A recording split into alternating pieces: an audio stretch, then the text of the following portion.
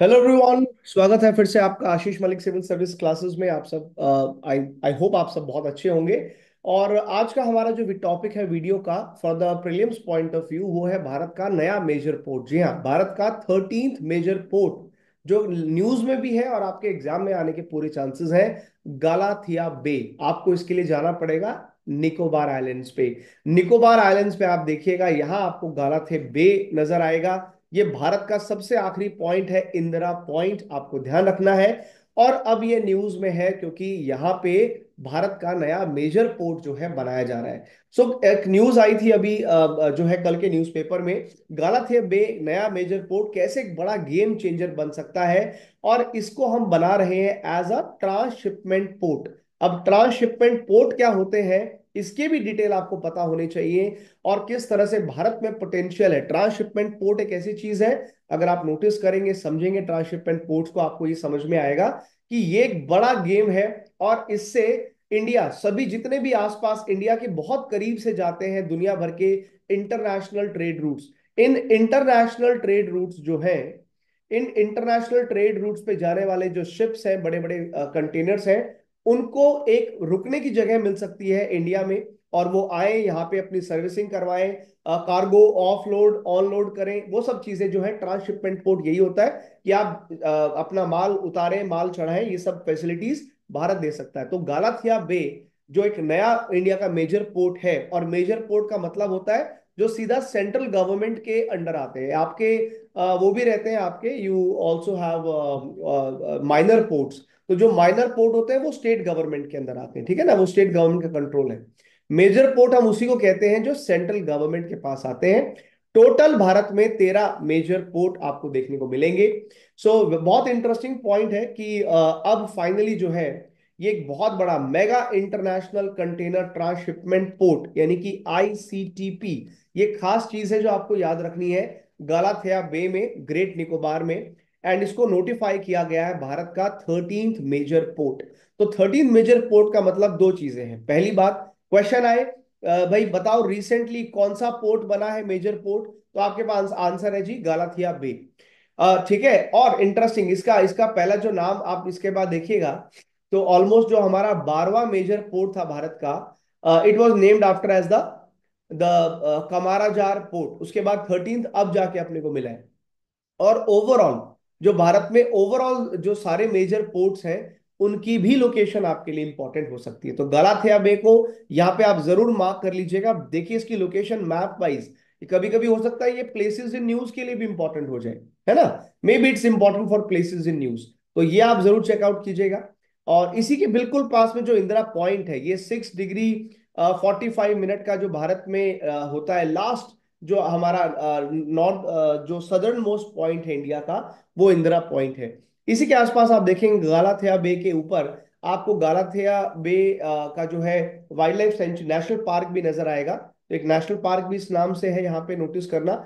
और वैसे भी आप नोटिस करना कि जो हमारे निकोबार आइलैंड्स हैं ग्रेट निकोबार आइलैंड वगैरह, और पूरे ओवरऑल अंडमान निकोबार भी, वो काफ़ी ज़्यादा न्यूज़ में है आजकल। Because of the latest developmental project तो वो आपको वैसे भी थोड़ा सा ध्यान में रखना है। भारत के मैं मेजर पोर्ट की अगर बात करूँ तो आपके सामने एक लिस्ट आपको नज़र आएगी मेजर पोर्ट्स की, जिसमें आपका, आप नोटिस करेंगे तो गुजरात का कांडला पोर्ट से आप अगर स्टार्ट करें तो गुजरात कांडला पोर्ट से लेकर के Mumbai port trust, JNPT, Mormugao port, Goa का, कर्नाटका का, मैंगलोर पोर्ट, कोची पोर्ट, केरला का, तुतिकोरन, तमिलनाडु, चेन्नई पोर्ट भी तमिलनाडु का है और एनोर एनोर भी, ये भी वन ऑफ़ द लेटेस्ट ही है।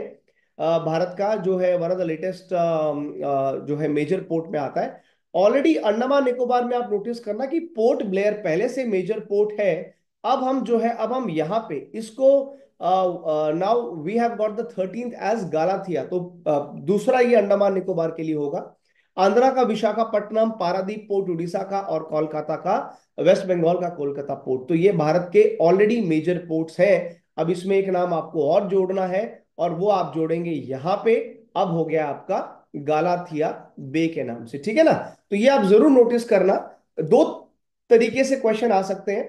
हो सकते हैं आपको कई सारे पोर्ट का नाम दिया जाए जिनमें बीच में माइनर पोर्ट मिक्स कर दिए जाए और आपको बताना हो कौन सा मेजर है, कौन सा माइनर है। या फिर दूसरा तरीका होता है पोर्ट का नाम और उसका स्टेट तो कैसे भी पूछे, आपको इसके बारे में अवेयरनेस होनी चाहिए। स्पेसिफिकली अगर हम बात करें अपने गालाथिया बे की अगर हम बात करें सो गालाथिया बे की अगर लोकेशन आप देखिएगा ग्रेट निकोबार आइलैंड पे है, अंडमान निकोबार का पार्ट है, ये बात तो आपने ऑलरेडी मैप पे देख ली है। इसकी स्ट्रेटेजिक इंपॉर्टेंस बहुत है, क्योंकि ये एक ऐसी लोकेशन है जो मलक्का स्ट्रेट के भी पास पड़ती है और यहाँ से करीब करीब 35 परसेंट ग्लोबल सी ट्रेड गुजरता है।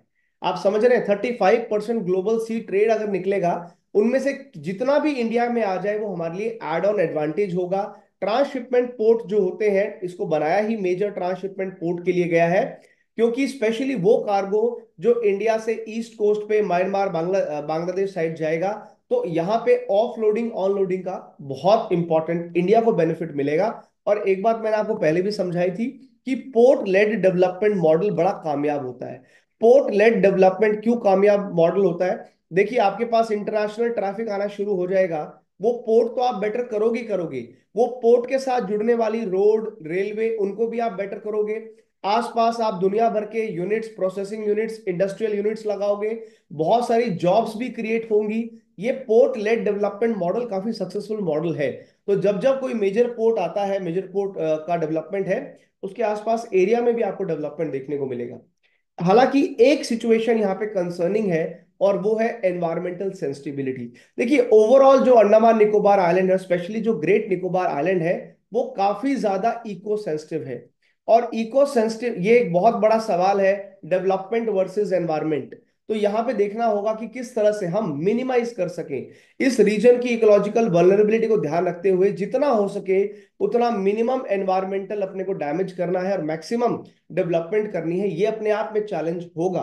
हालाँकि अगर हम इसके इकोनॉमिक इंपैक्ट की बात करें तो ऐसा माना जा रहा है कि लगभग लगभग 200 से 200 से 220 मिलियन डॉलर हर साल हम बचाएँगे, क्योंकि अभी ना इंडिया के पास कोई ऐसा खुद का ट्रांसशिपमेंट पोर्ट है नहीं। हम दूसरे ट्रांसशिपमेंट पोर्ट्स पे डिपेंड करते हैं। तो भारत हर साल 200 से 220 मिलियन डॉलर बचाएगा तो काफ़ी ज़्यादा इकोनॉमिक सेविंग होगी। प्लस में हमेशा इस तरह के ट्रांसशिपमेंट पोर्ट्स जो है, वो एक मेजर डेवलपमेंट सेंटर जो है क्रिएट करते हैं। तो आपको थोड़ा बहुत आई होप आइडिया लगा होगा। इस तरह के और वीडियोस के लिए और हमारे लंबे जो कंप्लीट कोर्सेज हैं, उनके लिए आप हमारी मोबाइल ऐप ज़रूर चेकआउट कीजिएगा। डाउनलोड कर सकते हैं from the Google Play Store ethics और फ़िज़िकल ज्योग्राफी का कोर्स अवेलेबल है। हम फ़र्स्ट नवंबर से we are starting Indian economy अगर आप इंडियन इकोनॉमी भी पढ़ना चाहते हैं तो आप हमारे इस नए कोर्स में एनरोल कर सकते हैं। हमारी मोबाइल ऐप पे सारे क्लासेस अवेलेबल हैं। साथ में हमारा ज़रूर टेलीग्राम चैनल ज्वाइन कीजिएगा। टेलीग्राम चैनल से आप कंप्लीट अपडेट रहेंगे। जो भी चीज़ शेयर करता हूँ, मैं आप टेलीग्राम पे आपको मिलती रहेंगी। बाकी वीडियो को लाइक ज़रूर कीजिएगा। दोस्तों के साथ शेयर करें और मुझे कॉमेंट करके अपना फीडबैक दें कि ये जो नया फॉर्मेट है शॉर्ट वीडियोस का, ये आपको कितना बेनिफिट दे रहा है। मिलते हैं अगली वीडियो में। Thank you so much God bless you take care जय हिंद। जय भारत।